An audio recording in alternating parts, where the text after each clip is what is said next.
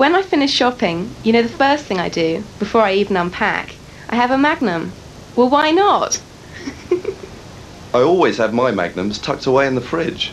It's all wet and cold outside, and I'm curled up in the warm, all cosy. It's wonderful. There's me and my magnum, and everything else can wait. When the phone rings, I let it ring. It's my moment. I have this nightmare. I go to the fridge for a magnum and they've all gone.